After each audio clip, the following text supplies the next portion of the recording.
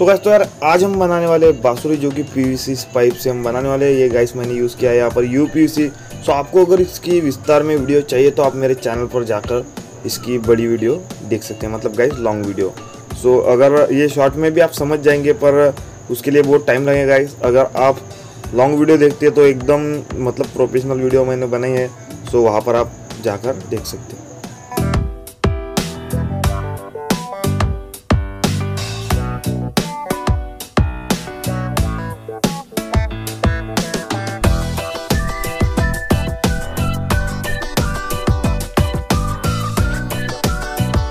हमारी बांसुरी बनकर रेडियस होगी, इसे बजाना देखते वैसे इसमें कुछ